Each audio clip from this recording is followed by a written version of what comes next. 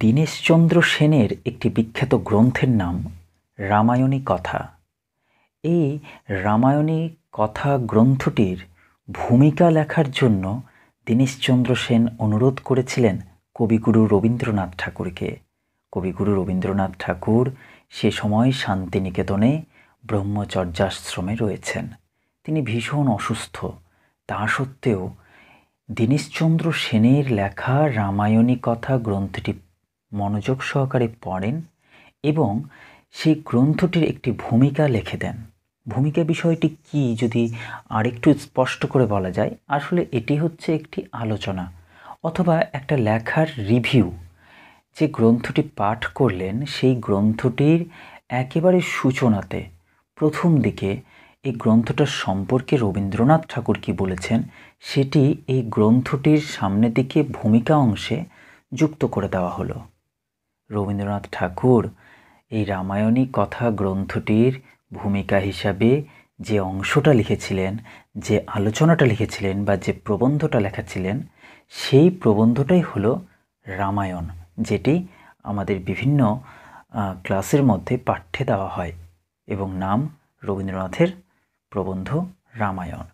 আচ্ছা এই রামায়ণ প্রবন্ধটাতে তিনি কি শুধুমাত্র রামায়ণী কথাতে লেখা অংশগুলোকে বিশ্লেষণ করেছেন? যদি এই বিষয়ে আলোচনা করতে হয়, তাহলে বলতে হবে, প্রথমে কিন্তু তিনি দীনেশচন্দ্র সেনের লেখার সমালোচনা করেছেন।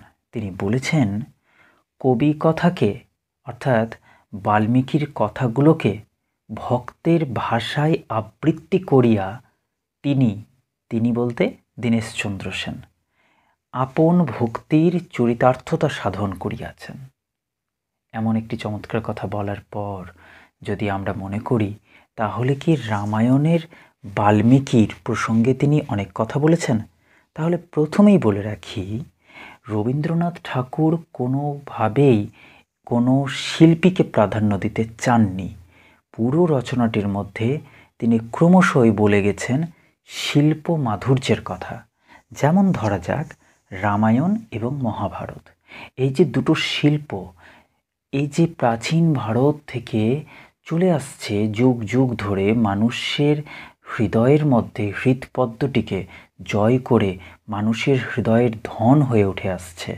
সেই প্রসঙ্গটাতে এসে রবীন্দ্রনাথ ঠাকুর বলছেন যে, এই রামায়ণ আর মহাভারত যেন ভারতবর্ষের জাহ্নবী অর্থাৎ গঙ্গা এবং হিমাচলের ন্যায় চিরকাল থেকেছে এবং আগামীতেও থাকবে। এক্ষেত্রে ব্যাসদেব কিংবা বাল্মীকি আসলে উপলক্ষ মাত্র উপলক্ষ মাত্র মানে কি? আসলে এরা নিমিত্ত। অর্থাৎ শিল্পীকে বিশেষভাবে প্রাধান্য দেওয়ার ইচ্ছা যেন রবি ঠাকুরের নেই। যেন আমরা রামায়ণ আর মহাভারতকে এমনভাবে মেনে নিয়েছি, এমনভাবে সেগুলোকে গ্রহণ করেছি যে সেটা একেবারে আমাদের নিজের হয়ে উঠেছে। সেক্ষেত্রে বাল্মীকি বা ব্যাসদেব একেবারে কিন্তু আড়ালে থেকে যাচ্ছে।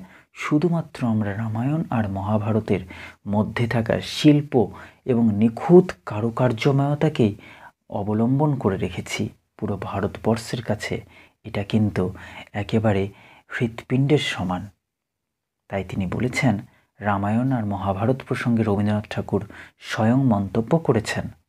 রামায়ণ মহাভারতকে মনে হয় যেন জাহ্নবী ও হিমাচলের ন্যায় তাহারা ভারতেরই। ব্যাস বাল্মীকি উপলক্ষ মাত্র।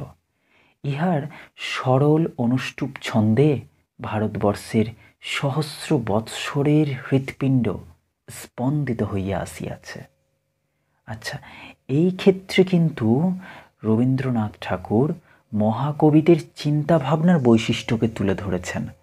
আমাদের কাছে প্রশ্ন হতে পারে যে রামায়ণ মহাভারত সারা ভারতবর্ষের হৃৎপিণ্ড যেন? তা এই হৃৎপিণ্ড হয়েছে কাদের গুণে? কবিদের গুণে। কোন কবি? সেই মহাকবি, যে দুজনকে আমরা আজও গুরুদেব বলে মনে করি, যেমন যথা বাল্মীকি এবং ব্যাসদেব। তা তারা এমন কেমন ধরনের চিন্তাভাবনা করতেন, যার ফসল হিসেবে এসেছে এই রামায়ণ আর মহাভারত? সেই প্রসঙ্গে রবীন্দ্রনাথ ঠাকুর বলছেন, এই দুই সুই সুবৃহৎ গ্রন্থে ভারতীয় সংস্কৃতির অখণ্ডতা আপামর ভারতবাসীর ঘরের কথাই স্থান পেয়েছে। এই জন্যই যুগ যুগ ধরে এই দুই মহাগ্রন্থ রাজপ্রাসাদ থেকে মুদির দোকান সর্বত্র সমানভাবে সমাদৃত। আমরা তো তাই দেখে আসি, রামায়ণ আর মহাভারতের অনেক কথা যেন আজ প্রবাদ বাক্য হয়ে গেছে। রাজপ্রাসাদেও সেগুলো আলোচনা হয়েছে, আবার আজ মুদির দোকানেও কিন্তু আলোচনা হয়। সর্বত্র রামায়ণ আর মহাভারতকে মানুষ যেভাবে মেনে নিয়েছে, ভারতবাসী যেভাবে মেনে নিয়েছে, তাতে করে বোঝাই যায় রামায়ণ মহাভারত হচ্ছে ভারতবর্ষের হৃৎপিণ্ড।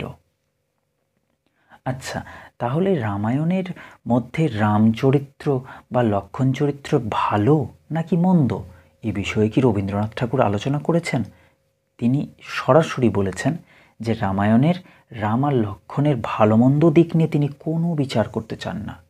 বরং কোন বৈশিষ্ট্যের কারণে এই চরিত্রগুলো আজও যুগান্তরের চাকায় পিষ্ট না হয়ে, নষ্ট না হয়ে গিয়ে আজও জীবন্ত রয়ে, হয়ে রয়েছে। তাই বিশ্লেষণ করতে চান কবি রবীন্দ্রনাথ ঠাকুর। এই যে রাম আর লক্ষণ, এই চরিত্রগুলোকে আমরা ভালো মন্দ না বিচার বিশ্লেষণ করে এটুকু তো বলতে পারি যে কোন বৈশিষ্ট্যের কারণে কোন এমন গুণ রয়েছে? বাল্মীকি এমন কোন গুণ আরোপ করেছেন এই চরিত্রগুলোতে যে কারণে আজও আমরা এই চরিত্রগুলোকে মেনে নিয়েছি আমাদের যুগের নায়ক হিসেবে যে কোনো যুগের নায়ক হিসেবে আমরা কি কারণে তাদেরকে দেবতার সম্মান দিতে চাইছি? সাধারণ মানুষের ধারণা মহাকাব্যকে হতে হবে বীররস প্রধান, তাই তো? কিন্তু বীররস প্রধান বলতে কি যুদ্ধ? তাহলে রামায়ণের মধ্যে তো যুদ্ধ রয়েছে, কিন্তু প্রশ্ন হলো, রামায়ণের মধ্যে কি যুদ্ধটাই আসল, নাকি এর সুর অন্য কিছু আছে? দেখুন, বাস্তবে রামচন্দ্র তো দেবতা নন, তিনি নানা গুণে সমৃদ্ধ একজন মানুষ। রামচন্দ্রের মতো এত গুণ কোনো দেবতার মধ্যেও ছিল না। উদাহরণস্বরূপ বলা যায়, বাল্মীকি এক সময় নারদকে জিজ্ঞাসা করেছিল যে সর্বগুণ সমন্বিত কোনো নায়কের সন্ধান দিতে। তার উত্তরে দেবরা দেবর্ষি নারদ বলেছিলেন যে দেবতার মধ্যেও তো এত গুণযুক্ত পুরুষ দেখা যায় না, তাহলে মানুষ কি করে বা নায়ক কি করে খুঁজে পাওয়া যাবে? কিন্তু বাল্মীকির সৃষ্টি করা এই রামচন্দ্রর মধ্যে যে সমস্ত গুণ রয়েছিল, তাতে দেখা গেছে যে তিনি দেবতাদের থেকেও অধিক গুণান্বিত। রামায়ণে মানুষ দেবতায় পরিণত হয়েছে। মানুষের চরম আদর্শ প্রতিষ্ঠা লাভ করেছে এই মহাকাব্যে। এখানে মানুষের গুণকীর্তন ধ্বনিত হয়েছে বলেই এর এত সমাদর। আমরা যদি ধর্মীয় বিষয় থেকে সরে এসে নিখুঁতভাবে রামায়ণের দিকে তাকাই, রামচন্দ্রের দিকে তাকাই, তাহলে একজন উপযুক্ত রাজা এবং উপযুক্ত মানুষ হিসেবে রামচন্দ্রকে দেখতে পাবো। তখন তার প্রত্যেকটি কাজ কোথাও যেন আমাদের মনের মধ্যে তার প্রতি একটা শ্রদ্ধা জাগিয়ে দেবে। এখানেই তো দেবত্ব, যে ব্যক্তি মানুষ হয়েও অনেক মানুষের সম্মান, ভালোবাসা, শ্রদ্ধা পায়, সেই মানুষই তো তার কর্মের দ্বারা দেবতা হয়ে ওঠে। এখানেই রামচন্দ্র দেবতা। এক্ষেত্রে রবীন্দ্রনাথ কিন্তু বাইরের কোনো বিষয়কে এখান এই রামায়ণের প্রধান বিষয় বলে মনে করেননি। রবীন্দ্রনাথের মতে বাইরের কোনো বিষয় নয়, রামায়ণে কিন্তু ঘরের কথাকেই বড় করে দেখানো হয়েছে। উদাহরণ, যেমন পারিবারিক সম্পর্কের কথা বলা হোক, পিতা, পুত্র, যেমন দশরথ, রামচন্দ্র, তাই না? স্বামী, স্ত্রী ভাইয়ের সাথে ভাইয়ের যে সুমধুর সম্পর্কের ইতিহাস, এসবই কিন্তু মহাকবি বাল্মীকিকে একেবারে অনুপ্রেরণা দিয়েছিল, যার ফসল হলো এই রামায়ণ। উদাহরণস্বরূপ তিনি এই প্রবন্ধে একটা কথা খুব সুন্দর বলেছেন, পিতার প্রতি পুত্রের বশ্যতা ভ্রাতার জন্য ভ্রাতার আত্মত্যাগ পতিপত্নীর মধ্যে পরস্পরের প্রতি নিষ্ঠা ও প্রজার প্রতি রাজার কর্তব্য, কত দূর পর্যন্ত যাইতে পারে রামায়ণ তাহাই দেখাইতেছে। অদ্ভুতভাবে আমরা বলতে পারি যে রামায়ণ হচ্ছে একটি গৃহ ধর্মের ধারাপাত ভারতবর্ষের আদর্শ যে গৃহধর্ম এবং সেই গৃহ যে ব্যক্তির সুখের জন্য ছিল না, তা ছিল সমাজকে ধারণ করে রাখার জন্য রামায়ণ কিন্তু আমাদেরকে এই শিক্ষাই দেয়।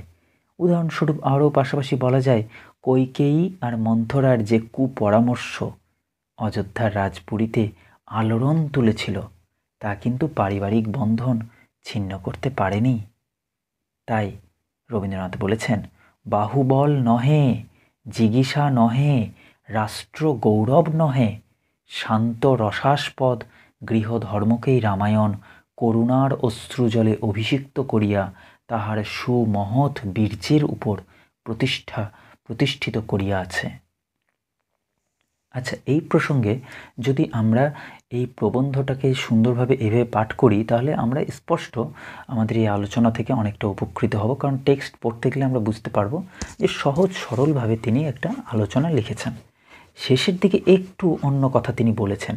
বলেছেন, রামায়ণের চরিত্র বর্ণনা প্রসঙ্গে বিদেশি সমালোচকের একটি মন্তব্য। বলা হয়, ওই সময় কোনো একজন বিদেশি সমালোচক ছিলেন যিনি রামায়ণের চরিত্রগুলোকে অতি প্রাকৃত বলেছিলেন। কি বলেছিলেন? রামায়ণের চরিত্র বর্ণনা অতি প্রাকৃত হইয়াছে। অতি প্রাকৃত বিষয়টা হচ্ছে অলৌকিক, অবাস্তব। তো সেই বিদেশি সমালোচক রামায়ণের প্রত্যেকটি চরিত্রকে অলৌকিক বা অবাস্তব বলতে চেয়েছেন। রবীন্দ্রনাথ কিন্তু এই বক্তব্যকে যে যুক্তি দ্বারা খণ্ডন করেছেন, সেটি হলো এইরকম প্রকৃতি ভেদে একের কাছে যাহা অতি প্রাকৃত অন্যের কাছে তাহাই প্রাকৃত। ভারতবর্ষ রামায়ণের মধ্যে অতি প্রাকৃতের আতিশয্য দেখে নাই। আসলে সত্যি তো তাই।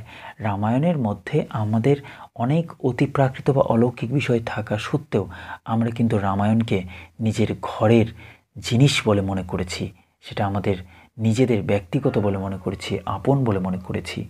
কারণ যদি অতিপ্রাকৃত বা অলৌকিক হতো, তবে রাম একই সময়ে, একই কালে, একই যুগে আমাদের কাছে দেবতা এবং মানুষ হতো না।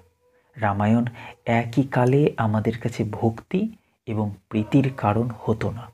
রামায়ণ প্রবন্ধটিতে রবীন্দ্রনাথের বিশ্লেষণী দৃষ্টিভঙ্গি যেমন ধরা পড়েছে, তেমনি তিনি রামায়ণের আদর্শের জায়গাটিও আমাদেরকে দেখিয়ে দিয়েছেন। আজকের এই সময়ের প্রেক্ষিতে যদি রামায়ণের সৌভ্রাতৃত্ববোধ আর সত্য ধর্ম অন্তরের সরল শ্রদ্ধার ভক্তি রক্ষা করাই করলেই কিন্তু আমাদের মুক্তি ঘটবে। সেই ক্ষেত্রে বলা যায়, রামায়ণ কথা হইতে ভারতবর্ষের আবাল বৃদ্ধ বনিতা, আপামর সাধারণ কেবল যে শিক্ষা পাইয়াছে তাহা নহে, ইহা যে কেবল তাহাদের ধর্মশাস্ত্র তাহা নহে, ইহা তাহাদের কাব্য। অর্থাৎ এই ভারতবর্ষের কাছে, ভারতবর্ষের শিশু, বৃদ্ধ সকল মানুষের কাছে, আপামর জনসাধারণের কাছে যে শিক্ষা নিয়ে পৌঁছে দিয়েছে রামায়ণ সেই রামায়ণ কথা কিন্তু কেবলমাত্র ধর্মশাস্ত্র নয়, ভারতবর্ষ, ভারতবাসীদের কাছে। এটা তাদের নিজেদের কাব্য, নিজেদের জীবনের কথা, নিজেদের ইতিহাসকে যেন তুলে ধরতে চায়, বাঙালি আনাকে তুলে ধরতে চায়, ভারতবাসীর, ভারতবাসী মনোভাবটিকে তুলে ধরতে চায়। এখানেই প্রবন্ধটির আলোচনা আমি সমাপ্তি করছি। যদি আলোচনাটি কারও এতটুকু ভালো থেকে লেগে থাকে অথবা এই আলোচনা দ্বারা কেউ যদি এতটুকু উপকৃত হয়ে থাকেন, তাহলে আমার এই পরিশ্রম সাধ্য বলে মনে করব। ধন্যবাদ, সাথে থাকবেন।